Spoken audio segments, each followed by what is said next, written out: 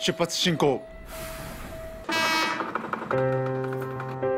夢を諦めふるさとに帰ってきた泉。帰ったんならやることあるやろ。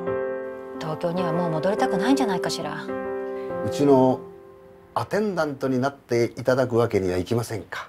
おはようございます。意外と簡単じゃない。ちょっと危ない！アテンダントになっても空回りの日々が続くどんな仕事だって軽い気持ちなんかじゃ務まらんぞ。うちそういうの許せん。人間って時が経てば不思議といろんなことが許せるようになってくるんや。あの時の事故では多くの犠牲者が出た。続けて起きた2度の列車事故でこの路線は廃止になった。生まれ変わったからにはもっとお客様に寄り添った何かが必要なんじゃないか。それで始まったのがアテンダントなんだ。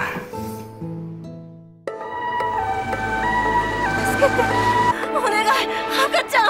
この命を守らずに私はこれから何を守っていけと言うんですか。